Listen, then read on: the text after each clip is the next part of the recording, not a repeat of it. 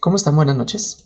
Bienvenidos una semana más, un día más, un miércoles más a, este su espacio de, del Crayusta, nuestro club de lectura Don Quijote Rockstar.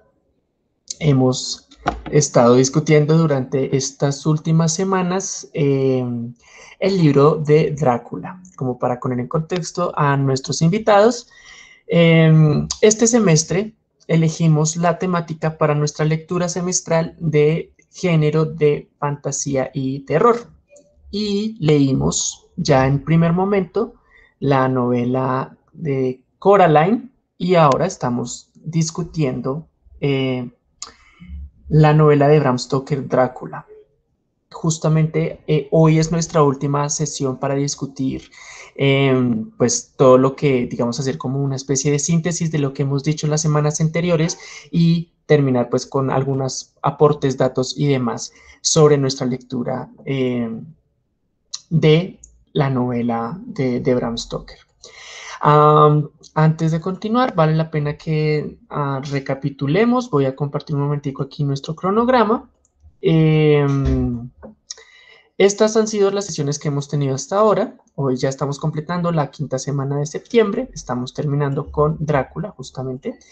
Ya la próxima semana estaríamos arrancando con eh, los mitos de Cthulhu. ¿no? Ya empezamos con la primera sesión de, em, de, de Lovecraft. Entonces, para que recuerden que todo el material disponible eh, perdón, todo el material está disponible en el Drive, ¿no? Vamos a encontrar allí un formato cómic, vamos a encontrar también eh, el libro, creo que ese solamente está en formato PDF, ese sí no lo vamos a encontrar en formato EPUB, y los, audios de la lectura en voz alta de todos estos relatos. Lo que tendríamos que elegir ahora es eh, cómo vamos a dividir las lecturas. Tenemos cinco sesiones de discusión, ¿no? Tenemos, a ver, miramos, tenemos la de la semana primera de octubre, la segunda semana vamos a tener nuestro segundo encuentro presencial. Eh, estuve haciendo mis averiguaciones a ver si lo podíamos hacer en la sede del Angélico, pero no se puede, ¿no? En la sede de la 72 no vamos a poder porque... 13 eh, de octubre, fecha exacta 13 de octubre. Em, no vamos a poder en la sede Angélico porque pues cierra a, determinada hora. Entonces nos, va, nos vamos a encontrar una vez más en la sede central. ¿Listo? Y a partir de eso vamos a tener todas nuestras eh, sesiones continuas de, Lovecraft. Tenemos cinco sesiones, es al, material al que más tiempo le vamos a dedicar. Em, como son nueve relatos, podríamos estar abordando de a dos, yo creo, y pues si acaso para la próxima semana arrancamos con no más un relato y empezamos a trabajar con, con esto, ¿les parece? Igual, pues bueno, eso lo vamos discutiendo también por el grupo de WhatsApp, solamente como para que vayamos pensando. Y pues fíjense, ya estamos terminando, es decir, ya, ya vamos sobre la mitad del, del semestre aquí con, con el Quijote.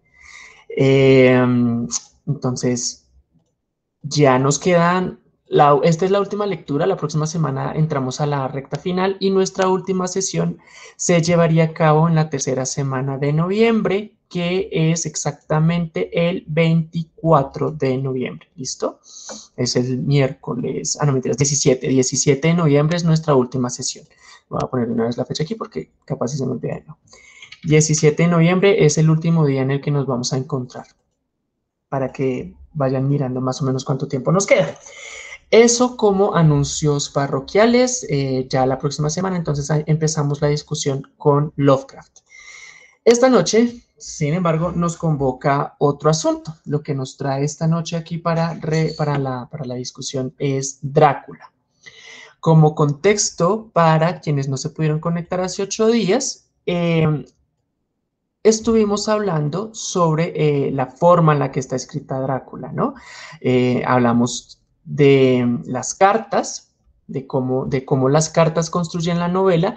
Hablamos también un poco del diario íntimo, cuál es la función que tienen las cartas y el diario íntimo, ¿no? cómo es la construcción de este texto a, partir de estos, de estos, llamamos, géneros menores, cómo construimos em, pues, pues nuestro texto, ¿no? cómo se construyó Drácula. Entonces vimos cómo se construye el mundo interno, pero también cómo se, está construyendo el mundo externo, cómo ambos tipos de, texto, como las cartas y los diarios, eh, pues respetan unas convenciones propias de una época y pues cómo nos están narrando la historia a través de esto.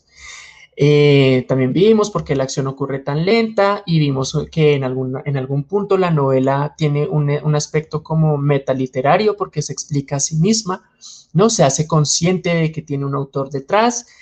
Bueno, todo esto lo discutimos eh, hace ocho días. Fue una conversación bastante, bastante provechosa. Y quedamos para, eh, pues para la sesión de hoy ya a ver, traer como toda la lectura hecha de Drácula, como terminarla. Eh, igual pues tuvimos un poquito más de tiempo para terminarla que, no, pues con la semana intermedia de pronto adelantamos allí algo de la lectura.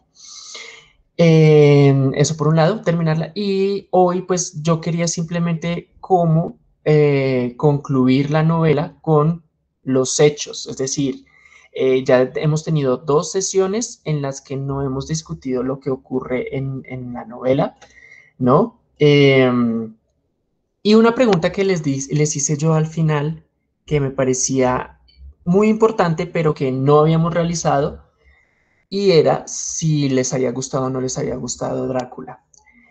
Ah, ah bueno, había una actividad, pero pues no, no veo que digamos quienes nos acompañan. Bueno, está Sarita, está Mari, no está, por ejemplo, eh, Johan, no está Lina, bueno, un par de gente que nos acompañó hace ocho días, habíamos dejado la propuesta de escribir una carta, ¿no? Eh, esa era una idea. Podríamos empezar por ahí si alguien trajo su carta. A partir de, esta frase de Sarita me dijo hace ocho días quién era, ahora se me olvidó quién es. Em, nadie está más solo que aquel que nunca ha recibido una carta, ¿no? Pero, pues bueno, no sé si alguien, alguien haya tenido su carta, nos haya escrito una carta, nos quiera compartir su carta, ¿no? Yo escribí una carta, pero no la puedo compartir. Eh, yo sí hice mi tarea, pero es demasiado personal. Algún día quizás les deje ver la carta.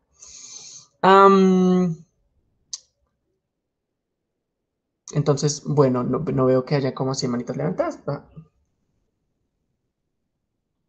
Ah, ok, bueno, Eider nos cuenta que eh, hay un juego de rol. Eh, es como nuestro compañero, yo siempre lo digo así, espero que no le moleste, es nuestro experto en juegos, rifas y espectáculos. Entonces él nos está diciendo, mm, hay un juego de rol que se realiza mediante cartas. ¿Cómo se llama ese juego? ¿Nos quiere contar? Adelante.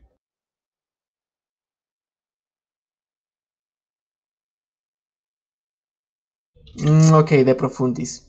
Listo. Bueno, quizás algún día lo podamos ver. como, como ese jueguito, como el Dixit que nos dejó ver en esa sesión presencial. Sería chévere. Ah, ok, ok, ok, listo, listo, ya, entendido. No, no puedo abrir el micrófono, listo, listo, listo. Entonces, no, no, no, no me quedo aquí eh, a la expectativa. Listo, perfecto. Entonces, ok, listo, ok, perfecto, perfecto. Bueno, entonces, sin más preámbulos, ¿Cómo les pareció la novela? ¿No? De quienes, de quienes han estado en este proceso de la lectura. ¿Quiénes, quién nos, quiénes nos, o quién nos cuenta eh, al final qué pasó con esa novela? ¿Se cumplieron las expectativas? ¿No se cumplieron las expectativas? ¿Tenían una idea de Drácula y se cumplió o no se cumplió? ¿Quién me cuenta? Yo también ya tengo mi opinión, pero como siempre les doy la palabra a ustedes. Entonces, Adelante. Bueno, Eider nos dice que no puede hablar. ¿Qué hay de los demás?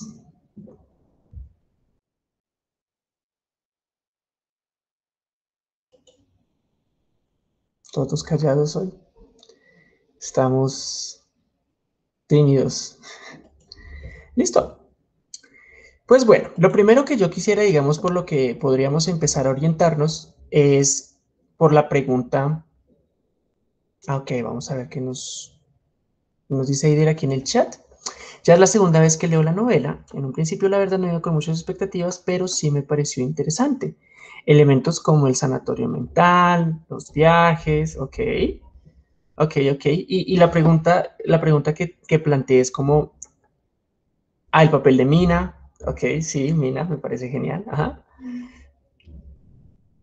Listo. Eh, mi pregunta era, ¿se cumplió como esa? Bueno, me dice como, no iba con muchas expectativas, pero sí me pareció interesante. Pero la pregunta es, eh, ¿se superaron las expectativas? ¿Se esperaba una novela de un tipo y se encontró con otro tipo de novela? ¿Cómo fue el, asunto por ese lado en cuanto a el imaginario, no? Porque Drácula está en todos lados, a que tenemos, que tenemos debido a, esta, esa, digamos, popularización de Drácula ¿no? Esta masificación de Drácula en la cultura pop en comparación a su origen, ¿no? A su novela. ¿Qué, qué, tal esa parte por ahí? ¿No? Porque, digamos, hay películas y mitos y un montón de cosas así como es... Drácula es el, el, ¿cómo se dice? No sé si es prototipo o arquetipo de, vampiro, si, si esa es, encontramos razones para que se haya perpetuado de la forma en la que se perpetuó en nuestra cultura. Esa es una pregunta, lo más o menos lo que quería también llegar. Mm, y por supuesto, la pregunta más básica, ¿les gustó? ¿Qué, les pareció? Mientras ustedes se animan, yo les voy contando. Eh, a mí me gustó, sí, me gustó, me pareció interesante. Quiero decir, eh, la forma en la que nos cuentan la novela eh, me pareció como muy envolvente. No podía dejar de leer, esa es una de las cosas.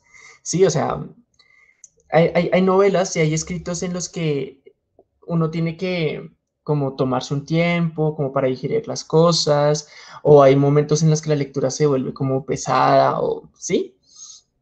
Pero no sentí eso acá en Drácula. Eh, en ningún momento. Quiero decir, sí, hay partes en las que la narración es lenta, pero a pesar de esa lentitud no podía dejar de leer. Yo quería seguir sabiendo, yo quería seguir como leyendo, quería saber qué pasaba. Y todo el tiempo tenía que estar leyendo sobre, sobre si cumplió con mis expectativas, más bien un poco no, porque yo tenía como, yo había leído la novela, pero hacía muchos años, como les había dicho, hacía muchos años y la había leído en inglés y pues por supuesto habían cosas que se me habían escapado y no me acordaba de muchísimas otras cosas. Y ahorita leyéndola digo como, bueno, y este es el monstruo, un poco, ¿no? Como, como eh, construimos todo esta, este, esta mundo alrededor de Drácula y, es por esto. Me pareció un poco como, como pequeño en comparación a lo que se hizo con él, ¿no? Em, pero en, en, últimos me gustó muchísimo. ¿Cómo fue mi experiencia de la lectura? Eh, fue muy agradable, de hecho, como les estaba diciendo, me parece que eh, tiene una, prosa más bien, no es tan difícil de leer como otras prosas. Por supuesto, no es Coraline.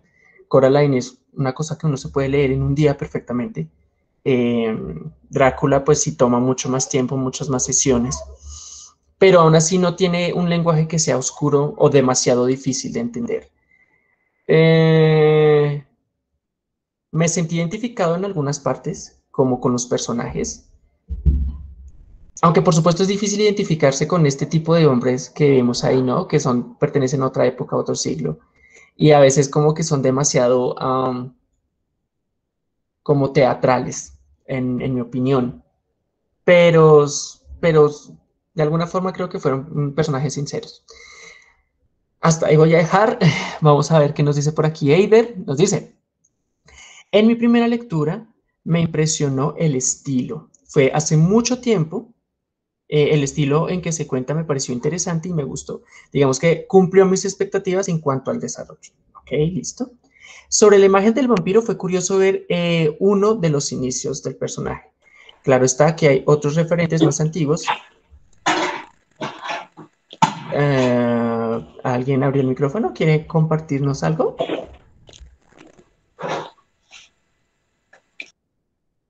Ah, ok, ok, ok. Sobre la imagen del vampiro fue curioso ver uno de los inicios del personaje. Claro, está que hay otros referentes más antiguos por esos cambios que ha tenido la versión en versión. Es curioso ver la transformación y reinterpretaciones entre generaciones. Me gustó imaginarme el castillo. Ah, ok, ah, bueno, eso es chévere. Me gusta eso de la imaginación, como el ejercicio de la imaginación, eh, porque algo está despertando, ¿no? Está suscitando algo las imágenes o el, las descripciones que hace Bram Stoker en su novela, esos, esos espacios también que según discutimos en, nuestra primera sesión, son tan del, ¿cómo se llama? de la literatura gótica, ¿no? Pues como esta, esta, esta inmersión en, el género romántico y en la, literatura gótica. Eh, entonces me gusta eso porque ah, está hablando de, ese poder que tuvo el libro para hacernos imaginar, ¿no? Suscitar nuestro pensamiento. Eso también me gustó mucho. Eh, este personaje, Bram Stoker, sí tuvo esta, esta forma de, de pintar muy bien con palabras los cuadros, ¿no? Eh, uno entiende por qué fue, digamos, de hacer esta, esta, mm, llevar esta historia al cine y pues que ha sido llevada tantas veces al cine, em, pues resultaba como tan atractivo, resulta tan atractivo para los cineastas, ¿no? Y es que pues el libro en realidad es muy visual en cuanto a las, las descripciones que hacen los personajes. Um, Eider continúa, nos dice, leer el prefacio donde explica cómo y cuándo Bram escribió el libro y en qué se inspiró, también me puso a imaginar qué sucedía en su vida por esos días. esa, observación me parece también muy importante de lo que está diciendo Eider, porque eh, también nos está exigiendo el libro un poco, a partir del contexto como de ese prólogo, eh, poner al, al autor en un contexto, ¿no? No solamente leer la historia y ya, sino eh, pensar en cómo fue el proceso de creación. Y pues bueno, ¿no? Todas las, las los chismes que corren por ahí sobre este, mm, estas, estos tipos de vínculos homeróticos que nos sugieren en el prólogo, eh, perdón, en el prefacio, de que si se aparecen o no aparecen, usted, bueno, no sé, sería chévere si, si alguien me, me, se atreve a, decir si aparecen o no aparecen estas fijaciones o aparecen en algún lado, como esas afirmaciones que hacían en el prólogo, en el prefacio, otra vez. Eh, porque el prefacio decía muchas cosas y me tomé como ese trabajo, no sé si ustedes también lo hicieron, de ir midiendo las palabras de ese prefacio a la luz de la obra en sí, ¿no? No me quedé como con la interpretación de alguien más, sino que yo también eh, como que aventuré mi propia interpretación. Sería bastante interesante escuchar la interpretación o, digamos, ese punto de vista que, que alguno de los participantes pudo haber tenido. Ah, ¿Quién más está pidiendo? Sí, sentido, listo. Eh, cada quien lo puede interpretar diferente. Esa es la maravilla de las literaturas. Eh, que todos podemos tener una interpretación distinta de, de las obras. Ok, eso me parece bastante chévere porque es una de las cosas que no aparece en ese prefacio, ¿no? Eh, porque el prefacio, no sé, yo sentí el prefacio como muy, no sé si la palabra es como amarillista, tendencioso, pero sí atacaba muy fuerte al autor. o, o, o, de alguna forma también como que forzaba un poco a la interpretación, ¿no? Podría ser. Pero esa es una de las cosas que nosotros tenemos que hacer cuando estamos leyendo y es poner, digamos, si nos encontramos con este tipo de textos, este tipo de aparato crítico, que es como, digamos, usualmente llamamos a este tipo de anexos a, las horas de literatura, como los pie de página o eh, los ensayos previos, los análisis, como lo que nosotros usualmente llamaríamos un aparato crítico, eh, pues es también ponerle atención, ¿no? No, no quedarnos con, con, lo que dicen y ya, sino nosotros también hacer el papel de, de juzgar la obra y juzgar eh, esa crítica. Entonces me gusta lo que dice Eider, ¿no? Como que eh, la amistad entre los personajes, que es, un, aspecto bastante interesante, aún sin un vínculo directo, y que se expresan casi en que darían su vida por el otro. Eso es muy chévere porque de alguna forma Eider, nos está dejando ver su mundo interior. Entonces, una de las cosas que a mí me gusta de forma, eh, digamos, ¿cómo decirlo? Me gusta muchísimo de la literatura es que podemos considerarla un espacio habitable. ¿Cómo es eso un espacio habitable? Nosotros literalmente podemos entrar dentro de la lectura. Suena como una redundancia, pero podemos entrar en la lectura, ¿sí? Y a partir de que nosotros nos, nos metemos en la lectura, podemos identificar la, digamos, como un eco, ¿no? Nosotros empezamos a hablar con la lectura y nos responden nuestros propios ecos encontramos qué es lo que de alguna forma resuena en, nosotros, ¿no? Y por qué resuena de alguna forma, qué es lo que nos hace sentir identificados, cuáles son las fibras que nos está moviendo. Y pues aquí Eide nos está diciendo un poco como, como esa visión de pronto que, no digo que así sea, sino de pronto una visión o la forma en la que él considera que de pronto podría ser la amistad eh, para él o la, la, forma en la que él considera que debería ser la amistad. Por eso de alguna forma lo, le, capta la atención, ¿no? Es la, la, lo que le llama. Eh, esa, esa, idea que él tiene sobre la amistad. Porque es curioso que él no, digamos, no menciona otros elementos, ¿no? Como vida, muerte, sino de lo que él decide comentarnos es sobre eh, la amistad. Entonces, vemos que lo que realmente, la, la, la, frecuencia que activó en él sus pensamientos fue ese elemento de la amistad y me parece muy bacán. Súper chévere, porque pronto Mari pensó en algo completamente diferente, ¿no? Sarita también pudo estar pensando en algo completamente distinto cuando, em, mientras estuvo leyendo. Y yo, por ejemplo, también tuve, digamos, otras, otras, otras percepciones, digamos, mi, atención se fijó en otras cosas. Y ya vamos a ver, digamos, qué, qué podemos ver allí. Ángela nos dice, el ejercicio del club de lectura en realidad es seguir la actividad desde el principio, desde el inicio una hora determinada, si no te sentirás en el limbo, como yo me siento ahora. Sí, digamos, el inconveniente en este momento, por supuesto, es, digamos, para quienes, quienes están aquí acompañándonos por primera vez, eh, probablemente estén como, bueno, ¿de qué están hablando? Eh, no, es como, no entiendo bien de qué, qué está pasando aquí. Probablemente, en especial si, por ejemplo, no hemos leído la obra, vamos a estar como ajá, bien, sí, pero no sé de qué están hablando. Y es completamente comprensible. Em, pero lo que dice Ángela es, digamos, lo que nosotros hacemos aquí es acompañar nuestra experiencia de lectura.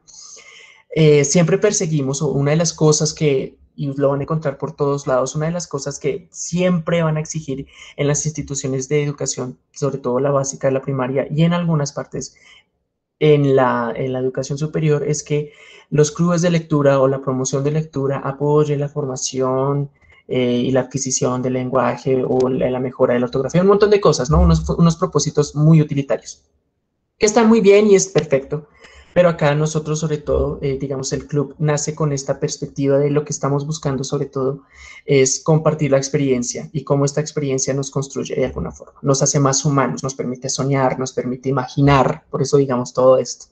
Entonces, aquí es darle rienda suelta como a ese pensamiento. Puede ser un pensamiento muy, muy loco, ¿no? O puede ser un pensamiento muy crítico, o puede ser un pensamiento muy académico. Aquí todos los pensamientos tienen cabida. ¿Listo?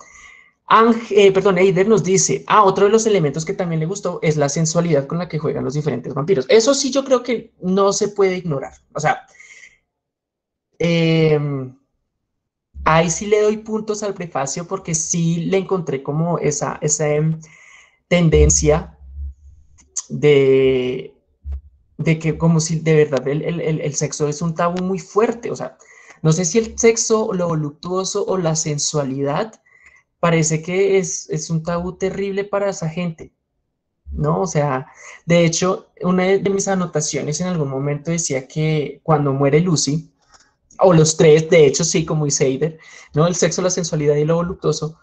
Em, cuando Lucy muere, cuando Lucy se convierte en vampiro, la, la, describen como mucho más sexy, ¿no? Entonces, es como, es mucho más sensual. sí, muere Lucy. Eh, muere Lucy, muere... Bueno, aquí ya ah, no hago alerta de spoilers, ya para esta fecha.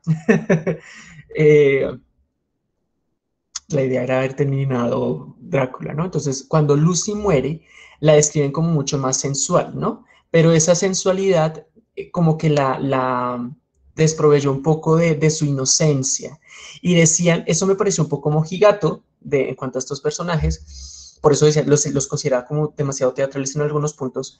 Em, como que esta sensualidad le había robado la inocencia y por eso podía ser más sensual, pero no por eso más bella, y que todos esos eh, aspectos y características voluptuosas la hacían maligna. Entonces, sí, sí puedo, yo considero que sí existe ahí como un, no sé si es una, una, tendencia mojigata o es un pensamiento o un tabú, como bien dice Eider en el chat, el tabú del deseo, pero sí hay, hay, hay algo que, que me parece un tanto hipócrita, ¿no? Por parte del autor. Recordemos también que él estaba atendiendo unas convenciones, ¿no? Y probablemente eh, hablar de esto de la forma en la que él quisiera hablar no hubiera sido posible. Eh, porque le hubiera podido significar un montón de cosas. De hecho, nomás la novela, con, la forma en la que está escrita y con todas estas, em, ¿cómo decirlo? Con estas medidas que toma Bram Stoker al respecto, ¿no? Como de justamente lo que estoy diciendo, la voluptuosidad es peligrosa, es el diablo y demás. A pesar de todo esto, la novela fue taldada de inmoral en algún momento, ¿no? Ah, sí, no, y en todo, yo, yo creo que en este momento somos como la sociedad más abierta al respecto.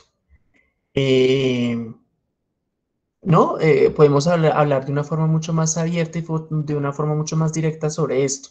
O sea, no se queda solamente en, los libros, no se queda solamente en los grupos cerrados, sino es una, eh, estamos, digamos, frente a una, ¿cómo se diría? Exteriorización de eh, lo, sensual, lo sexual. Sí, de hecho, eh, hay que pensar también, por ejemplo, en, en, el castigo para las personas homosexuales en su tiempo, ¿no? Como Oscar Wilde estuvo en la cárcel eh, porque fue acusado de homosexual, que era un crimen. Y de hecho, en Inglaterra el crimen se despenalizó hasta entrado el siglo XX. uno de los, de pronto Mari me pueda corregir a Turing, Turing, creo que es como una de las, de los, de las mentes detrás de nuestras computadoras. Él ayudó también a terminar como con la, Segunda Guerra Mundial. Eh, él, digamos, Alan Turing, eh, sí, Alan Turing, gracias, Mari. Eh, él era un genio, digamos, yo creo que en toda la expresión de la palabra, pero también él terminó como suicidándose porque lo acusaron por ser homosexual y tuvo, estuvo como una especie de tratamiento, si no estoy mal, y al final él no pudo con eso y pues se suicidó. Entonces, eso es una de las cosas que de pronto también vemos, ¿no? Como que la sociedad también va cambiando a través de la literatura. Una de las cosas que dijimos al principio es como qué pasaría si ponemos en contexto o, comparamos un poco la, la historia de Drácula con la de, por ejemplo, los vampiros de Crepúsculo y vemos que son cosas distintas, ¿no? Eh, uno de nuestros participantes, ajá, eso, eso que nos dice Mari fue lo que le pasó a Alan Turing, como que eh, tratamientos hormonales. Y pues al final lo, terminaron fue como matando. Bueno, más, matando su espíritu, al menos. Y él pues mató su cuerpo. entonces, si siguiéramos, por ejemplo, este personaje como de, no recuerdo el nombre del, del, del, protagonista de Crepúsculo, él es, eh, necesito un salvavidas. Eh, Edward. Edward, Edward, Edward, Edward Cullen, gracias. Si vemos este, este personaje de Edward Cullen en comparación, digamos, las motivaciones de Edward, en comparación a las motivaciones de Drácula, pues vamos a ver que hay un mundo de diferencia, ¿no? Edward es este personaje, bueno, de verdad me disculpo para quienes defienden, gustan de esto y lo ven, yo no lo he visto. Ya te doy la palabra, Antonio, dame un segundo.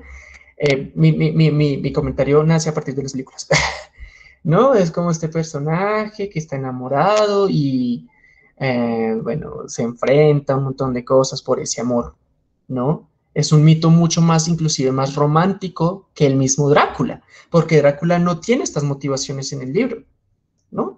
Drácula no está como nos muestran en la película, Drácula no está persiguiendo a su amada. Su objetivo era conquistar Londres, entonces, es un sentido mucho más imperialista, es un sentido mucho más político, un montón de cosas, ¿no? Pero no es este, esta persecución de un deseo, ¿sí? Y de hecho es curioso porque lo, sensual de los vampiros está representado en la mujer, ¿no? Y vemos muy poco de esa sensualidad de los vampiros en el, Drácula, digamos, en el vampiro original. Bueno, uno de los vampiros originales.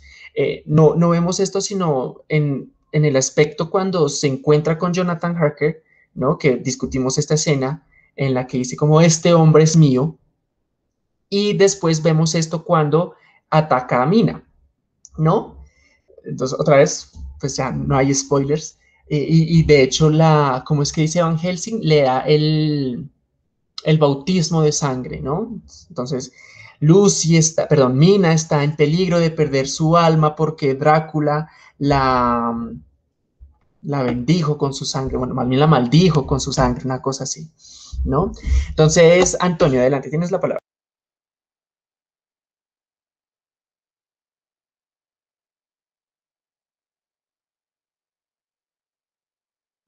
Antonio, ¿no? Ok. bueno, vamos a ver aquí, regresemos al chat. Ah,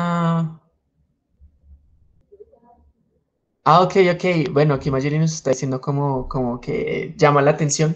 Es, yo la recomiendo. Recomiendo, si, digamos, la pregunta aquí una, también podríamos hacernos esta pregunta. ¿Recomendaríamos Drácula? Yo la recomendaría. Es decir, uno pasa un tiempo agradable. Eh, es una lectura amena, es una lectura interesante, pero también exploraría, por ejemplo, con otros formatos, como el que nos comentó Eider en su momento, ¿no? Eh, el, bueno, Eider, Diana, Mari, eh, el audiolibro, ¿no? El audiolibro de pronto también ayude como a súmale, es un plus a la lectura. Entonces, completamente recomendado. Ah, bueno, es súper chévere. Eh, sí, sí, de pronto sí, ya, digamos, como para lectores primarios, es decir, si, si estamos empezando con, con la lectura, diría arranquemos con Coraline y pasemos a Drácula.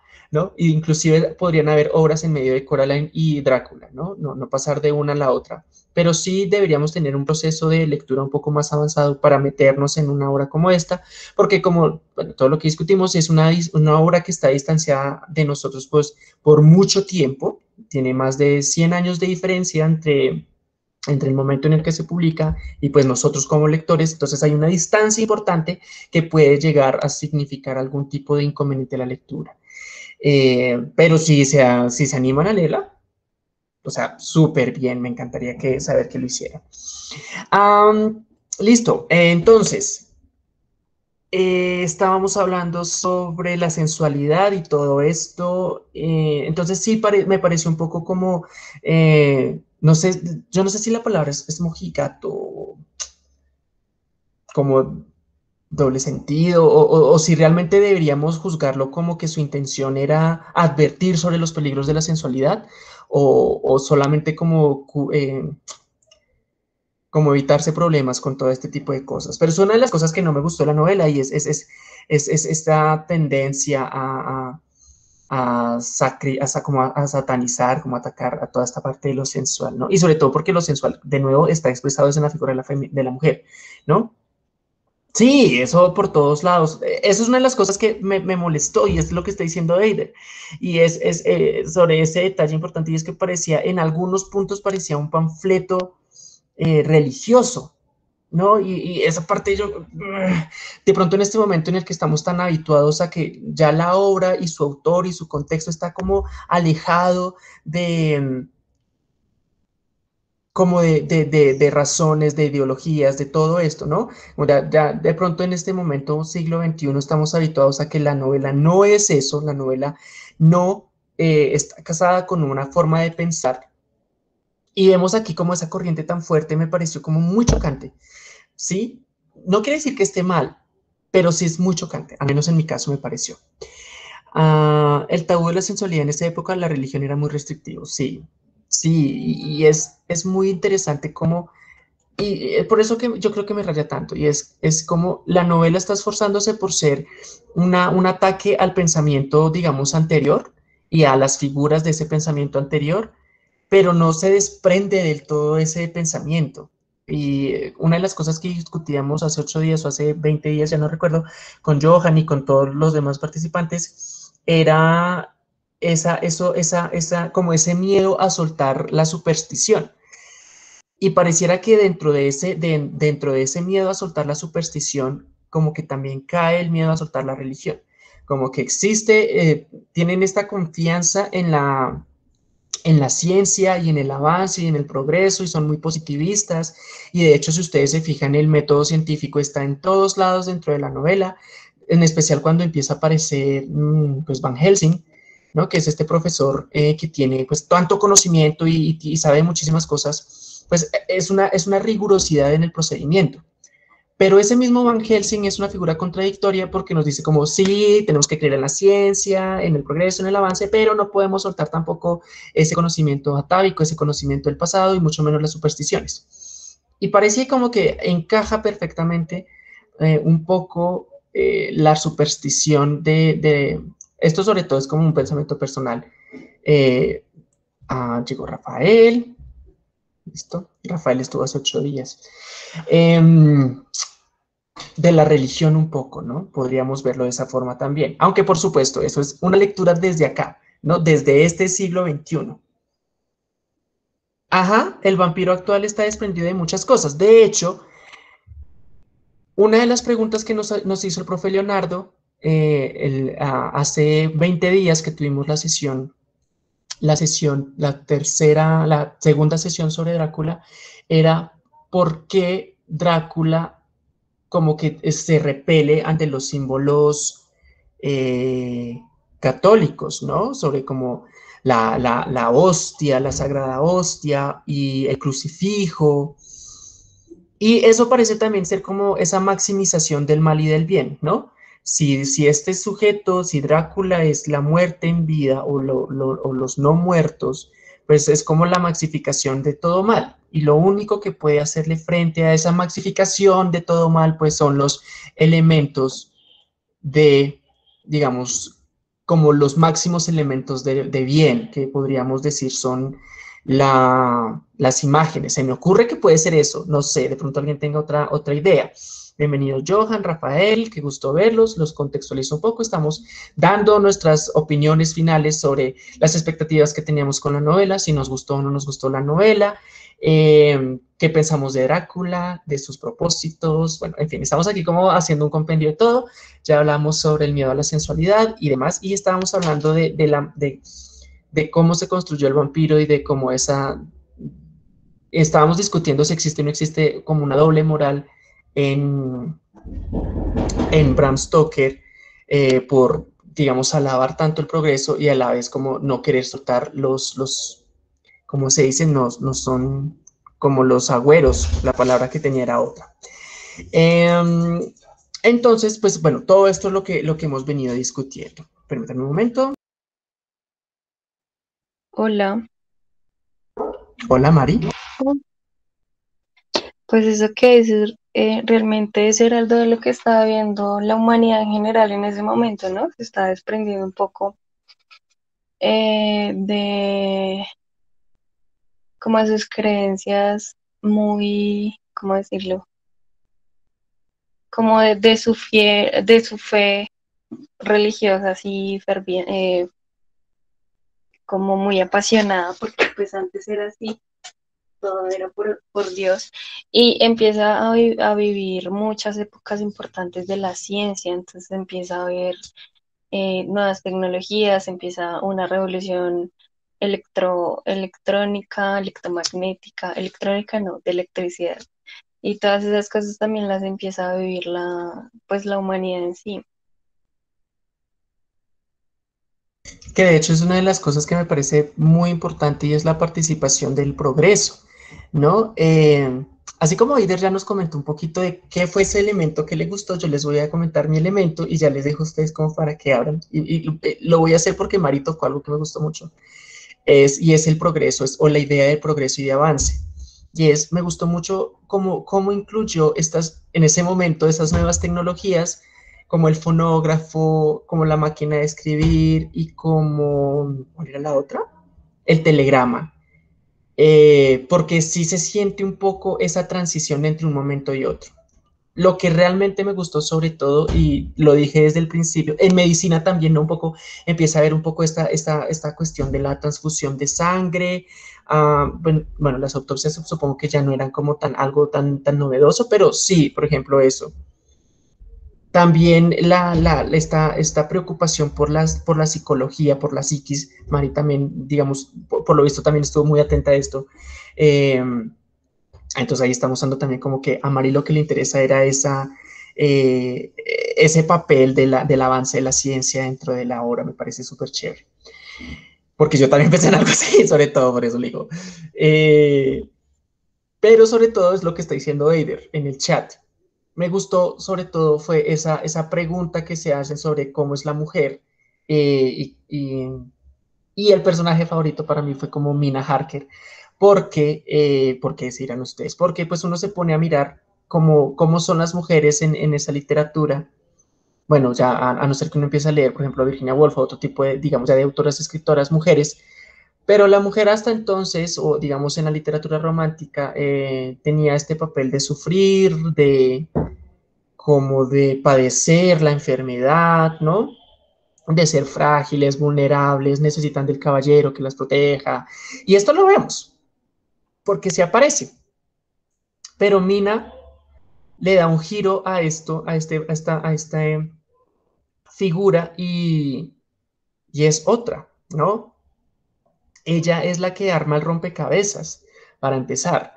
Ella, eh, ella es, inclusive, es una de las cosas que no me gusta, o sea, dependiendo de dónde se mire, puede parecer un halago o, simplemente como un comentario mal hecho, eh, pero dicen como que ella piensa como mujer, como hombre, ¿no? O sea, como tiene estas características de, lo femenino, pero su pensamiento es masculino y sus aptitudes y su poder de razonamiento, que es muy odioso el comentario a nuestros ojos, ¿sí? Es un, comentario bastante odioso, pero eh, en su momento significaba justamente como esa superioridad de alguna forma, ¿no? Y sobre todo porque no era una mujer fea. ¿Y por qué digo esto? Porque las mujeres inteligentes solían ser pintadas como mujeres feas en la literatura. Entonces, es muy interesante. Este personaje me encantó, Mina Harker. Es una de las cosas que más me gusta. Eh, porque está hablando de, es, vanguardista de alguna forma, ¿no? Vámonos aquí al chat a ver qué están diciendo. Dice, mm, no debería repeler el personaje esta novela porque me parece que Drácula es un ser que no ha podido morir y debe ser logrado para descansar en paz. Así es cierto, no lo veo como maligno, es un ser que puede existir entre nosotros y ni siquiera lo sabemos. Es un pensamiento interesante. Y eso hasta ahora está cambiando, ¿sí? La mujer y su aspecto versus sus capacidades. De hecho, sí, fíjense, ¿no? Eh, ya, ya voy a hablar sobre lo mar y primero quiero hablar sobre lo que nos dice Ángela, sobre esa, esa, esa visión que tiene del, del vampiro. Y la visión de Ángela parece muy de, acuerdo con lo que nos decía la misma Mina. ¿no? Mina nos decía, eh, por más de que Drácula sea malvado, eh, tenemos que pensar que él también está sufriendo y tenemos que darle como el descanso para que su alma encuentre la paz, una cosa así, ¿no? Entonces me parece muy chévere esto que está diciendo, nos está diciendo Ángela, porque es el, pensamiento exacto del, que, del pensamiento de Mina, ¿no? Es, es tener piedad inclusive por aquello que nosotros consideramos no debería tener, o quien, con quien consideramos no deberíamos ser piadosos. Es un, es un pensamiento también muy humanista, ¿no? Es, es, es eh, no es, se trata de no elegir con quién somos buenos, sino de ser buenos con todos, así no lo merezcan, o así consideremos que es como ese mal superior. Eso me pareció también bien interesante, aunque me, generó ciertos conflictos. Eh, eso me generó como, cierta, cierta, cierta, problemática conmigo. ¿Por qué? Porque quizás yo no soy de los que considera que deberíamos ser buenos con todos. De pronto, de pronto, es, algo con lo que eh, me movió a mí, ¿no? Cuando ingresé a la lectura, me tuve que discutir conmigo mismo sobre ese punto de vista. Es algo que repercutió en mí. Y Mari nos dice, eh, eso hasta ahora está cambiando la mujer y su aspecto de sus capacidades. Sí, de hecho, pues yo hace mucho tiempo no veo Los Simpson, pero hay un episodio donde a Lisa no la toman en serio porque es rubia, ¿no? Y ella tiene que teñirse el pelo de castaño para que la tomen en serio. Ah, y de hecho, ese es solamente un ejemplo, es como la punta de la aguja de todos los casos en los que vemos que la mujer es, no es tomada en serio, si pues no es, por ejemplo, Betty la Fea, ese es otro personaje, ¿no? Para que, para que se pudiera considerar como que ella era la mujer inteligente, tenía que ser un arquetipo de una forma. Y al final sufre la transformación y demás y no cambia su esencia. Pero al inicio, esa es la idea que se tiene de las mujeres a inteligentes. De hecho, aquí en Colombia tenemos una escritora, ya la he mencionado muchísimas veces porque me encanta, que es Soledad Acosta de Samper. Ella escribió en todo lo que ustedes se puedan imaginar, escribió muchísimo, y ella se describía y ella se considera una mujer inteligente. A sí misma, como una mujer, digamos, eh, letrada, se considera una mujer inteligente. Pero así como se considera inteligente, se consideraba a sí misma fea. ¿Sí? Porque inclusive existía un, arquetipo, como un, pensamiento en el que decía que las mujeres inteligentes tenían la frente muy grande. Son cosas así que también están participando acá y que nos están diciendo, una mujer bella también puede ser una mujer inteligente. Y eso me parece súper chévere. Entonces, miren, que eso estaba escrito en, 1891, dijimos, 1897, es como la primera publicación, me imagino que de forma completa. Han pasado ya 103, 124 años, más o menos. Eh, y hasta ahorita estamos dándonos cuenta que las mujeres bellas pueden ser también inteligentes o que las mujeres inteligentes no tienen por qué ser feas o no son feas, de hecho. No, no porque no tienen que, sino no, no son feas. No es como, eh, no existe esa relación entre, lo, entre el genotipo y, la inteligencia. Eh, y cuánto tiempo nos tomó descubrir una verdad que estaba hablando Bram Stoker en su momento. Mm. Ah, bueno, eh, Mari tiene aquí un punto, ¿no? Y es como que las, las mujeres usualmente se, describen como bondadosas, como este ser de, perdón y eh, esto inspirado en lo bíblico. El problema con, la mujer, digamos, con el personaje histórico ah, de la mujer, no soy experto en el tema, pero pues me remito desde la literatura, es que siempre ha tenido esta doble, esta doble función, ¿no? Porque la mujer es lo máximo, lo máximamente bueno, pero también es lo máximo malo, ¿sí? Por culpa de una mujer caímos, desde lo bíblico, caímos en el pecado, ¿no? Eh, dirían en la Edad Media, ¿no? El pecado entró a la humanidad por medio de, de una mujer que es Eva, pero por culpa, o debido, gracias a una mujer, eh, la salvación y el perdón llegó de nuevo a la humanidad. Y es eh, gracias a María. Entonces siempre tenemos estas dos figuras de lo femenino. Lo máximamente bueno, que es ahí donde cae todo lo sensual, lo tabú, ¿no? De hecho, usualmente no se reconoce como a Eva, sino como a Lilith, para quienes de pronto conocen un poco al respecto. Eh, es como la madre de los demonios, etcétera, bla, bla. Desde la literatura, repito. Em, y es Lilith, es, es, como la figura de lo sensual, de lo voluptuoso, es como la encarnación de todo lo que es malo. Y si se fijan, es un poco como, exactamente, todo siguiendo una visión muy eurocéntrica, eurocéntrica ¿no? Es, es em, la mujer como, como recipiente de todo lo malo. exactamente, como nos está diciendo Amparo, Luz Amparo. Ah, sí, sí, Lilibet. Em, entonces fíjense que el personaje que se parece a, esta, a este ser son las vampiras, las, las, las, las vampiresas, creo que se les dice, ¿no? Las esposas de Drácula y la misma Lucy una vez eh, se convierte en vampiro. Y también vemos que eh, quien pudo hacer frente a todos estas, a estos impulsos y a, este mal que intentaba dominarla, de nuevo fue Mina. ¿no? Y de hecho Mina se convirtió en una herramienta para destruir a Drácula, ¿no? Cuando la empiezan a, a, hipnotizar y ella les da información que es importante para, para saber dónde está Drácula, ¿no? No sé, pero, pero esa parte me pareció como interesante, pero muy lenta. No, no, no, no, no, no avanzó tan rápido como quisiera.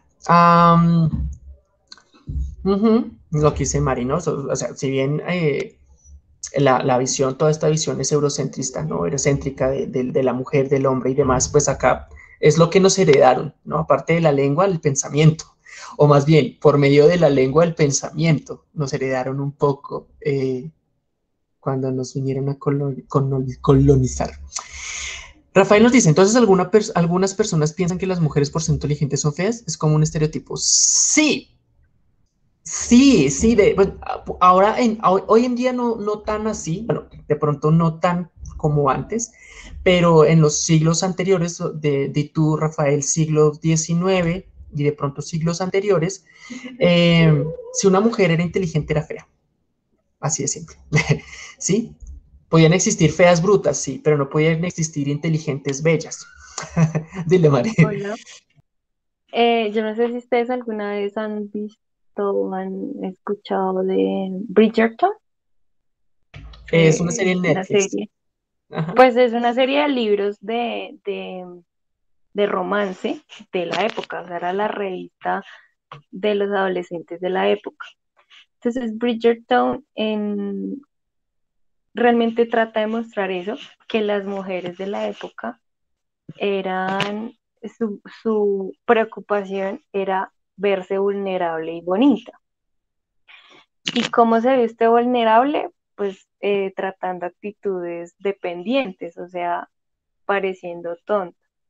Entonces a las, a las mujeres que se les veía eh, interesadas en educarse, de una vez les decían cosas como, eh, ¿para qué va a hacer eso si va a dejar de ser atractiva para un hombre? Y su mayor propósito en la vida es casarse bien. Entonces era eso, y ahí fue donde se vino evolucionando todo este cuento de que no hay mujeres en la ciencia, de que si las bonitas y las feas. Todo empieza porque em, se desvía del propósito. Entonces, si una mujer empieza a educarse, en, letras o en cosas así, deja de tener tiempo para educarse en el hogar, para educarse en la cocina, para eh, formar su papel de tonta, de débil. Entonces, es eso, es como toda una condición social que las llevaba a querer ese ideal, porque en últimas ellas se sometían eh, lavado el cerebro o no, se sometían a eso por voluntad. Ellas seguían, muchas, muchas seguían esa tendencia de, no rebelarse y no de seguir ahí. Y no es que no tuvieran inteligencia y decir, eh, yo puedo capacitarme, puedo ser una mujer independiente, sino que la sociedad no se lo permitía, ellas no iban a surgir de ninguna manera, entonces, ¿para qué lo hacían? Y entonces es eso. Es, es una discusión muy grande de muchos años eh, de, pues, de cómo las consecuencias socioculturales alrededor de la mujer no han permitido un desarrollo, eh, digamos, sano, ¿no? Entonces, es eso también. Escuchando a Mari, yo pensaba como en la Declaración de los Derechos del Hombre, ¿no? Creo que hasta hace un poco de tiempo existió esta, esta, esta discusión de por qué se dice en la Declaración de los Derechos del Hombre y no del hombre, la mujer y los niños, por ejemplo. Porque antes de pronto esas figuras no se concebían como nosotros las concebimos hoy en día. Yo creo que esa es una de las razones por las que me gustó tanto el personaje de Mina Harker, porque es lo más cercano a nuestros días. ¿Sí? O sea, yo no podría encontrar un Jonathan Harker, yo no podría, bueno, de pronto un Dr. Senfield sí, ¿no? Pronto es uno de los también uno de los personajes más actuales que, con los que nos encontramos, pero no encontrarnos con un Lord, con un Lord, con un Quincy Morris, bueno, pronto con Quincy, de pronto los, los americanos, de pronto los estadounidenses, de pronto no han cambiado tanto, pero todos los demás personajes parece que, que pertenecen a ese pasado, mientras que estos personajes, eh, de alguna forma, quizás yo diría sí los podría encontrar hoy en día en estos, en estos tiempos y es una de las cosas que por eso me gustó. Y esta discusión que nos está estableciendo Mari, eh, sí, sí, eso que eh, una de las cosas que discutimos hace ocho días y es como la morbosidad o el morbo que tiene el libro también implícito. Y sobre este papel de la mujer y demás, es, es, es, eso es dificilísimo. Hoy en día existen cátedras en la Universidad Nacional, que es donde yo estudio, por eso hablo de eso, eh, que se dedican a pensarse, digamos, la discusión del género y es, es la, eh, el papel de la mujer y es muy importante, es como una reivindicación a todo esto y es una visibilización a lo que hasta entonces había sido silenciado, ¿no? Y me parece, por eso creo que también de alguna forma es, es uno de los elementos que más me llama la atención y es darle este protagonismo en el pensamiento a la mujer. Pero bueno, voy a cortarlo por ahí, vamos a ver qué nos dicen por acá. A las mujeres bellas, nos dice Ángela María, las mujeres bellas e inteligentes usan su saber para la maldad. Eso dicta la sociedad actual, ¿no? La mujer no es bondad, es lógica, es inteligente. ¿Para qué masacrar la mente y el corazón ante la naturaleza de un ser que su papel es ser malo, pero igual merece su existencia ante los ojos de todos? Sí, de alguna forma también eh, se ha ido transformando, ¿no? Y ahorita me parece que el trato de los con los personajes femeninos es más justo, en el sentido de que un personaje puede ser bueno o malo independiente de, de, sus condiciones. Por supuesto, hoy en día ya existe este, este, este estereotipo de la femme fatal, ¿no? Que nos vende Hollywood, en el que es la mujer seductora, inteligente, pero que también es letal y demás, que fue, esto apareció más de pronto con, con la figura de la novela negra, ¿no? La novela policíaca, la novela de misterio, y por supuesto su equivalente en, en el cine, donde empezamos a ver estas mujeres eh, muy hermosas y también muy inteligentes, muy sagaces, que saben utilizar en su propio beneficio, que saben utilizar su propio, en su propio beneficio su inteligencia y su, y su cuerpo, su, digamos, su, su atractivo físico. Entonces, eso también son todas las transformaciones que han tenido, digamos, eh, la figura de la mujer. Si nos pusiéramos a ver la figura del hombre en la literatura, de pronto veríamos que se ha cambiado en cuanto a la relación con el mundo, pero el hombre pareciera que sigue siendo el mismo, ¿no? El hombre, el hombre, no nos preguntamos tanto por el, por el hombre porque parece que lo tuviéramos muy claro, ¿no? El hombre está peleada con el mundo o el hombre está en pelea con otros hombres. Eh, eso parece Rafael.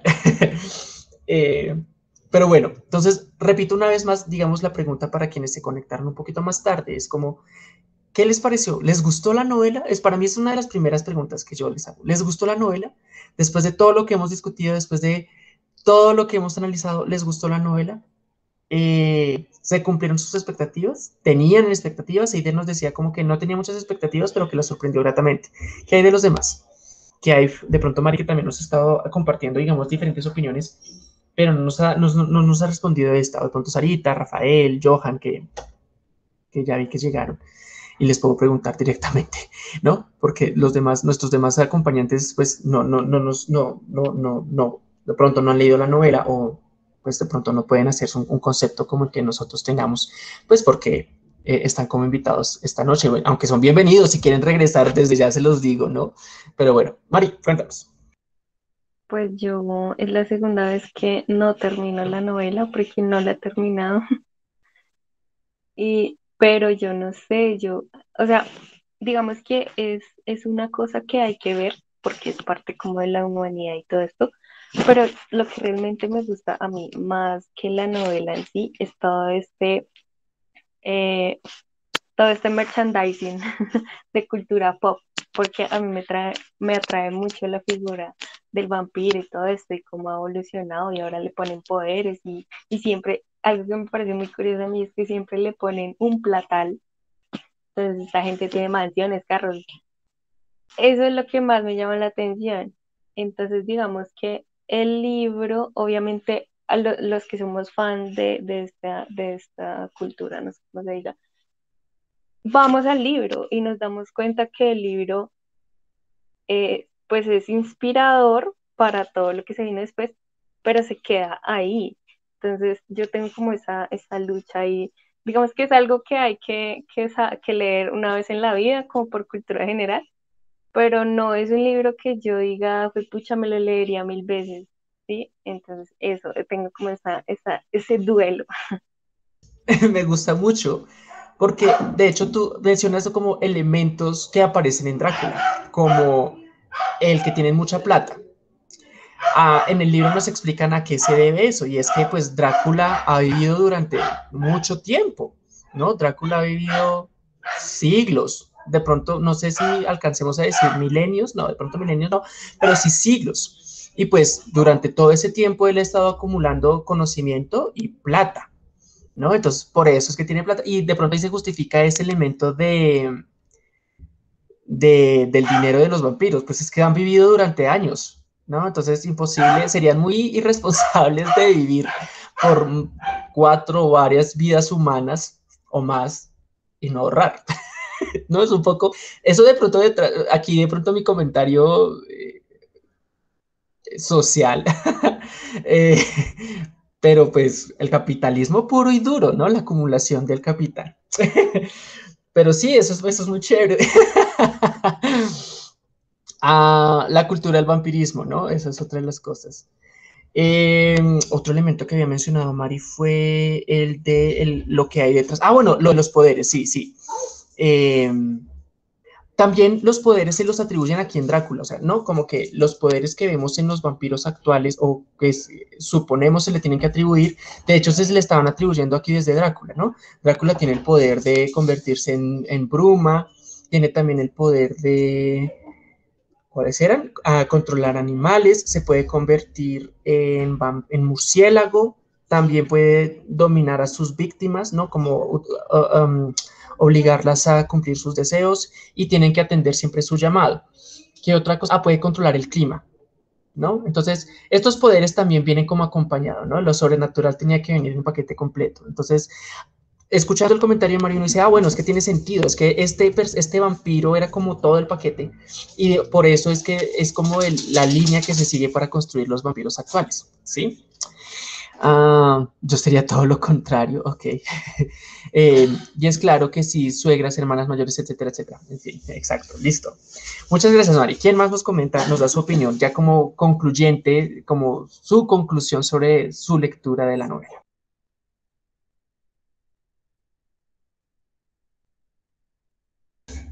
¿No? ¿Nadie? Listo. Entonces, nada, yo quería que habláramos justamente de esto, le diéramos el cierre a esta novela. Me gusta la conclusión que hace Mari sobre cuáles son las desventajas de Drácula. Él no puede atravesar, eso, las debilidades, él no puede atravesar como el agua, ¿no? Él no puede sobrevolar el agua cuando es de día, creo que es, ¿no? Entonces los ríos y todo esto no lo puede como mover. Ah, ¿Sí, Mari? ¿Vas a decir algo? Yo tengo una debilidad que lo vi una vez en una serie y lo he buscado en el libro y no la encuentro, y es que Drácula no puede llegar, no puede entrar a una casa sin ser invitado. Sí, de hecho lo dice. Eh, y pues de pronto, si, si, avanzas en la lectura, si la terminas, sería, vas a encontrarte con esto y es que hay una parte en la que eh, Drácula mm, domina a este, al, al, loco, el de sanatorio mental, es que no me acuerdo el nombre, Renfield, Renfield, ah, y lo, lo, lo engatusa para que lo invite al manicomio y solamente así puede atacar a Mina, porque él no puede entrar sin ser invitado, Renfield, ajá. Entonces ahí explican que Drácula eh, domina a Renfield para que lo invite, le dice como eres bienvenido y solo cuando le dicen esas palabras como eres bienvenido puedes entrar y demás es que él puede entrar pero sí, sí tiene esa debilidad. Esas otras las debilidades, bien nos dice Mari. Entonces, tiene debilidad por el, sol, es decir, em, no puede como tener el full, del, el full, digo yo, como la capacidad total de sus poderes, y de hecho creo que entra como en ese estado de muerte. Em, también la debilidad es eh, las flores del ajo, aunque nunca nos explican por qué en el libro, ¿no? Esas otras las cosas, nunca nos dicen por qué el ajo, si, si citáramos a Hotel Transilvania diríamos que porque le irrita la garganta. El caso es que nunca nos explican por qué es alérgico al ajo, pero no puede estar cerca del ajo. Eh, porque duele feo, aunque el ajo no se me hace. o de pronto una alergia, sí. Eh, también eh, los elementos religiosos como la cruz y como las hostias que estén bendecidas. Eh, y pues que en realidad dicen como que él no es libre, tiene todo este poder, pero él no es libre, su espíritu no es libre, es más bien como prisionero de una maldición. Y también vimos que Mina supo aprovechar, eh, o sea, convirtió en debilidad uno de los poderes de Drácula. O sea, Mina es genial, o sea, voy a defender, o sea, me voy a meter con Mina siempre, Mina es genial, porque eh, ella se dio cuenta que tiene muy al estilo Harry Potter, o más bien Harry Potter copió esto de copió un poco esto de, Drácula, es que existe un vínculo, no sé si espiritual o mental, de pronto espiritual más que mental, entre Drácula y sus, y sus em, lacayas, como sus esposas. Y Mina se da cuenta que pueden aprovechar este vínculo para sacar la información al subconsciente de Drácula, ¿no? Esto también es muy de la psicología, ¿no? Subconsciente y demás, etcétera, etcétera. Eh, pero entonces encontramos que Mina supo aprovechar este poder que tenía él sobre ella, ella le dio la vuelta y lo convirtió en una, debilidad para poder seguirle el rastro y poder alcanzarlo, saber dónde estaba. ¿no? Entonces, esa es otra de las debilidades. Esas serían como las debilidades de, Drácula, Rafael. ¿Listo? Entonces, para que lo tengan en cuenta. Eh, por si de pronto tenían las dudas. Johan, adelante. Pues es que yo no he podido decidirme bien si el libro me gusta o no. Yo ya lo he leído dos veces. Uno fue cuando hace como unos que 10 años y otra vez vuelvo a releerlo en esta época. Y creo que nunca he podido decidirme si me gusta o no, porque es que el libro se nota, o sea, cuando uno lo lee, se nota que hay como mucha investigación de por medio y todas las anotaciones que él iba haciendo, pues se ve que está basado como en cosas reales, ya sea en tradiciones, ya sea en culturas, ya sea como en, sí, como en la ciencia o en el conocimiento que existía en esa época o en, como en las percepciones que había. Y se nota que sí se trabajó mucho en el personaje del vampiro, porque pues él quería que su mejor amigo fuese el protagonista, fuese Drácula y pasó al personaje en su mejor amigo. Entonces se nota como ese cariño que el autor le puso a la novela y entiendo por qué la gente ama tanto el libro y por qué se puede hablar tantas cosas sobre el libro, pues porque permite debate, o sea, toda esta investigación que él hizo detrás de la novela hace que esté muy enriquecida de muchos datos y muchas cosas.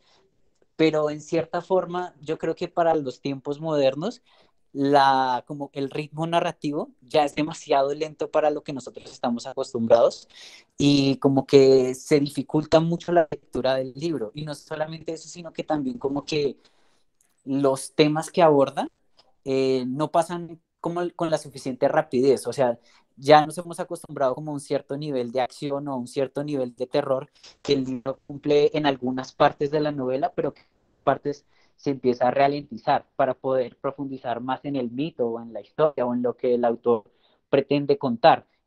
Y no sé, como que tengo como una dualidad. Eh, hay partes que me gustan del libro y hay otras que no me gustan. Como que estoy en duelo, es una relación de amor-odio con el libro y con la historia.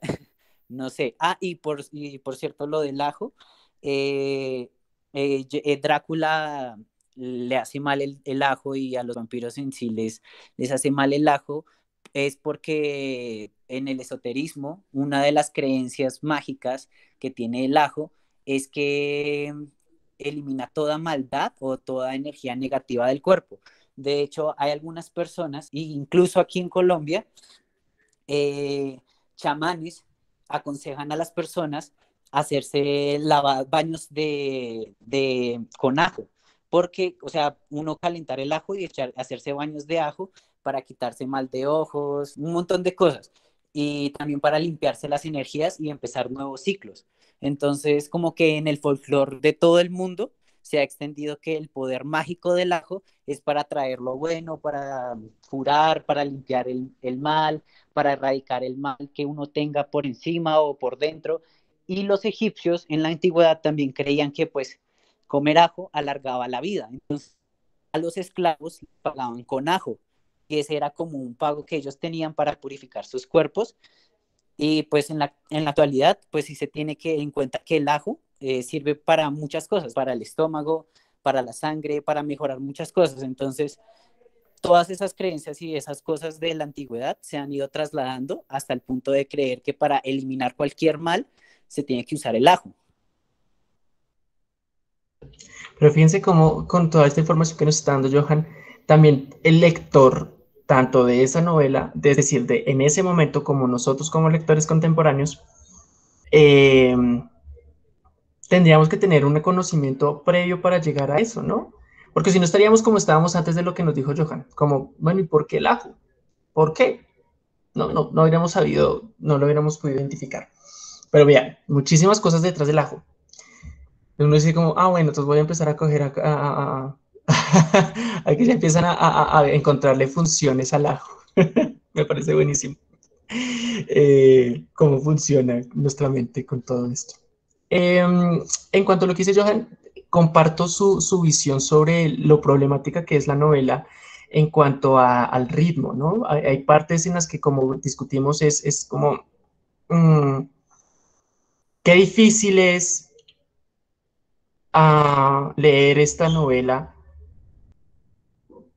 en nuestros días, dado el ritmo, por, por, cómo está escrita y por cómo desarrolla la acción. Por supuesto, el personaje que crea es entrañable. ¿sí? Se puede odiar a Drácula o se puede amar y se puede construir un, toda una, idea alrededor de él. Pero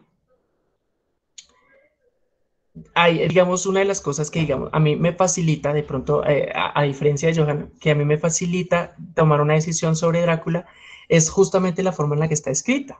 Y es que eh, me parece que es una, una prosa muy bella, ¿sí? Porque respecto a lo que nos dice Johan sobre cómo estamos acostumbrados ahora a, una forma de contar y a una forma de leer, eh, creo que esa economía, en la, forma en la que se cuenta, sacrificó un poco lo, bello que puede ser el lenguaje, ¿sí? Y, una de las cosas que tiene, que, de pronto no nos detenemos a ver por el afán de, de desentrañar lo que está ocurriendo, es ver el lenguaje en sí, que es en últimas, una de las cosas que también deberíamos ver, y es cómo está escrito el lenguaje. Eh, ¿No? Si, ese, si ese lenguaje es bello o no es bello, cómo es el lenguaje que se está utilizando. Y por supuesto, yo digo, para mí es una, cosa, una de las cosas que más le suma. Listo, hace la, acción lenta, es cierto, pero la forma en sí en la que está escrito, esa, esa, como ese, esa, um, esa prosa muy lírica, ¿sí? Me parece uno de los elementos que a mí me ayuda a decidir, ¿leería otra vez Drácula? Sí, la leería. Eh, ¿Qué no me ayudaría a decidir? Como dice Johan, como la odio, la odio, la me gusta o no me gusta, la odio o no la odio.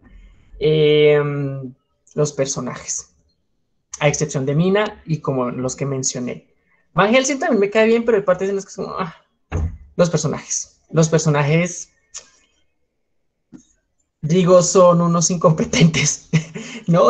Sobre todo porque nosotros tenemos una información, tenemos ya mucha información. El mito, el mito del vampiro y de todo esto llegó hasta nuestros días mucho más completo de lo que pronto lo tenían ellos. Ah, y por supuesto llegó transformado. Y nosotros sabemos desde el principio qué está pasando. Entonces es muy desesperante ver cómo esta gente es tan inepta en muchas partes. Entonces es una de las cosas que digo, baila. Los, los personajes, terrible. Pero bueno, Vamos a ver aquí. Sobre si es bueno o es malo, eh, no sé. Ah, lo que dice Mari, ¿no? Pensarnos si era uno una persona. ¿Existía todavía esa posibilidad? Ah, lo, sí, sobre lo que nos dije Johan, él era como, se dice que era, fue uno de los sobrevivientes de la escuela de la escolomancia, que es como la escuela del diablo en la que se toman a cierta cantidad de personas, ciertos alumnos, y al final uno de ellos tiene que quedarse con él, ser como el sacrificio para que todos los demás, y es como la peor magia negra que existe. Entonces, podríamos verlo así como un personaje bastante siniestro, ¿no? Desde esta, desde esta perspectiva. Mm, y siempre van a pensar que es el malo, o sea, de hecho, si tuviéramos que ponernos como muy maniqueos de decir quién es bueno y quién es malo, en su novela, en su novela, Drácula es malo. Drácula es el personaje malvado. Dinos, María. Hay una película ya más bien moderna, no me acuerdo cómo se llama, pero pues es de Drácula y ahí muestran cómo pues el tipo eh, hace, lidera estos ejércitos con el estandarte religioso y pues que es lo de las cruzadas. Y yo no sé si es que estoy como cruzando las películas, pero me parece que en esa película decían que él hizo un pacto como con espíritus, demonios, no sé, para fortalecer el ejército de Dios, ¿no? Entonces, eso también es como hay el duelo eh, moral que, tiene, que tenemos todo el mundo, que va lo bueno, lo malo, el fin, los medios eso, no, me, no recuerdo bien cuál película era, pero, pero hacía referencia a eso, a que, a que Drácula era un servidor de, de Dios. Y pues ya en la película muestran que es un servidor de Dios que se siente traicionado. De hecho, algo así también nos cuentan en la, en la versión de Francis Ford Coppola, ¿no? Como que él estaba defendiendo la, la religión de Dios y Dios le quitó a su ser amado. Un poco esto. es una de las cosas que de pronto también podemos ver desde, desde nuestra perspectiva y es que nosotros estamos acostumbrados a que no existe un mal absoluto, así como no existe un bien absoluto, ¿no? Nosotros ya no tenemos, de pronto, ¿no? De pronto no, o es lo que están intentando hacer las novelas y si se fijan las series y demás, ya no existe como un mal porque es el mal y un bien porque es el bien, sino es un mal que tiene un propósito y hay una historia detrás de ese mal y también existe un bien que puede no ser tan bueno. Mientras que esta novela es el mal por sí mismo, ¿no? Y existe el bien por sí mismo, como el propósito final, ¿no? Como el, el, mal último, que era una de las cosas que en algún momento nos comentaba Johan, que es el, una de las características de la novela gótica, ¿no? O sea, no puede ser cualquier mal, tiene que ser el mal último, el supremo, el superior, no puede haber un mal mayor. Y esto es una de las características que vemos acá. Bueno, no sé si existe un comentario, algo más que agregar, algo más que decir. Listo, decimos de amores y odios, Drácula, ¿no? Se puede, puede que nos guste, puede que no nos guste. ¿Hay que leerla? Sí, yo creo que comparto con María, hay que leerla. Sarita, cuéntanos. Hola, buenas noches. Eh, bueno, pues yo quiero dar como mi, mi opinión al respecto, que como que no, no fue mi libro favorito y algunas de las cosas que como que me quitaba como la intriga, por, ah, por decirlo así, era que, digamos que tenía que responder rápido, ¿sí? Pero llegaba y se ponía a escribir en el diario y era como que, pero, pero, no, no, no tiene mucho sentido porque digamos que lo está persiguiendo yo no sé quién y tiene que correr, pero y entonces se pone que escribir en el diario que tiene que correr. Entonces, pues como que no. y pues yo, yo tenía mucha intriga de leerlo porque ya que la cultura pop es un referente en la cultura pop, porque se menciona mucho, tiene muchas películas, sagas, eh, series. Entonces sí, yo dije, pues bueno, Vamos a ver qué tal es.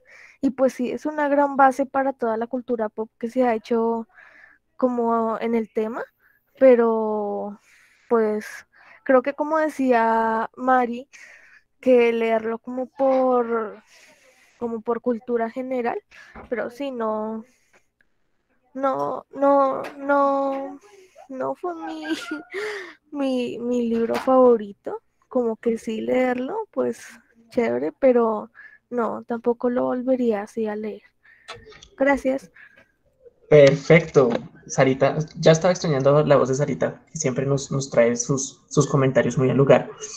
Y creo que compartes con Johan el problema de la verosimilitud, del ritmo narrativo, de, que es muy lento en su narración y pues tiene todo el sentido, ¿no? Es, es, una forma distinta de, de, de, escribir si comparamos, por ejemplo, con Coraline, Coraline nos decía, eh, y tengo que buscar las almas de, de, de, los chicos, y se iba y las buscaba. Y no empezaba, pero antes me miré en el espejo y contemplé las estrellas y pensaba en cómo deben estar sufriendo mis padres y en el pobre sufrimiento que las almas de los niños han tenido que atravesar durante siglos. Eso no pasa, ¿no? Coraline dice como, bueno, estoy jugando a buscar cosas y me pongo a buscar cosas. Sí, porque son dos momentos de escritura distintos, pero me gusta muchísimo tu comentario y eh, bueno, qué bueno que tengas ese punto de vista y lo, y lo defiendas como tan fervientemente. Muchas gracias, Arita. Eh, Johan. Pues es que ahorita que se toca el tema de Coraline, se me hace que hay algo que comparten los dos libros y es que condensan mucha información. El problema es que Drácula es muchísimo más largo que Coraline y la información que condensa muchas veces se vuelve repetitiva porque la, cuenta y la narra desde varios puntos de vista. Entonces, dependiendo del punto de vista, de su sentimiento y de todo como su cosmovisión, la cosmovisión del personaje, hace que todo ese barullo de información se sienta como, como ya demasiado empalagosa, que es lo que no pasa con Coraline, que de hecho deja muchos cabos abiertos para decir como, no, esto no es necesario explicarlo, sino que magia. Sí, totalmente, ¿no? Ahí se, separan ambas novelas. y es que Drácula no puede dejar cabos sueltos. Ni siquiera su personaje podía quedar vivo, aunque sí deja un cabo suelto. Espero que hayan notado cuál es el cabo suelto que deja Drácula. Espero que lo hayan notado. Em, ¿Algo más que agregar? ¿Algún último comentario? Ah, bueno, de las cosas que no me gustó fue la muerte de Drácula. ¿No? Esperaba más epicidad en la muerte de Drácula, pero creo que me robaron. bueno, son las ocho y media. Recordemos pues la información que vimos al principio. Dentro de ocho días arrancamos con Lovecraft. Eh, todo el material está en la carpeta. Em, ¿Qué más? ¿Qué más? ¿Qué más? Nuestro próximo encuentro presencial es para el 13 de octubre en la sede central, donde nos reunimos la vez anterior. Por si no pudieron ir en la vez anterior, pues sería bueno que fuéramos a esta. De nuevo, para la, para la, para la reunión presencial, no discutimos las lecturas, sino yo preparo una actividad distinta. Es una actividad pura y dura de promoción de la lectura quizás si le pida también ayuda a colaboración a Eider con sus juegos, porque creo que tiene unas cosas bastante interesantes. La reunión presencial es siempre a las 7, ah, mentiras, a las 6 arrancamos, ¿no? 6 para estar saliendo de la sede a eso de las 7, 7 y cuarto más tardar, que fue la hora más o menos que salimos eh, esa vez. 6 eh, de la tarde, 6 de la tarde para que puedan ingresar. Eh, Listo, entonces, próxima semana, Lovecraft, vamos a arrancar con el primer cuento. Arranquemos solamente con ese, suavecito, entremos suavecito a Lovecraft. Primer cuento de la selección de cuentos que aparecen eh, en el cómic, que aparecen en el libro, en PDF y pues el primer audio. ¿Listo? Entonces, nada, muchísimas gracias. Eh, Rafael, si, si, te parece, eh, toda esta información, tú estás en el grupo de WhatsApp, ¿verdad? Creo que sí. Entonces, por ahí en el grupo eh, podemos, podemos ir como agregando toda esta información, ¿no? Ah, bueno, entonces voy a pasar la información, voy a pasar una vez más el link de el club de lectura, también para, digamos, si, si de nuestros participantes de esta noche alguien está interesado en unirse al grupo de WhatsApp, por ahí, por el link que acabo de compartir, pueden unirse. ¿Listo? Y por ahí estamos dando toda la información del club y demás, por si, por si les parece. nada, entonces muchísimas gracias a ustedes por sus comentarios, por su participación. Drácula, una novela de amores y de odios. Entendemos por qué la, la trascendencia de su personaje, pero la novela en sí misma puede que nos resulte un tanto compleja de, de, de amar del todo, ¿no? Entonces, Dentro de ocho días arrancamos con Lovecraft. Espero que disfruten estas, estas, esto es completamente distinto. Van a ver. Eh, y ya todos tenemos como, tenemos en nuestro radar como cuál es el, concepto que tiene Lovecraft sobre el, sobre el miedo, ¿no? Todo el mundo le teme a lo desconocido. Entonces, por ahí ya pueden hacerse una idea de qué es lo que nos vamos a encontrar con Lovecraft, por si no lo han leído nunca. Nos vemos dentro de ocho días. Tengan una muy buena semana, eh, ya terminando septiembre, entramos al mes del terror y pues nos llega loca para este tiempo.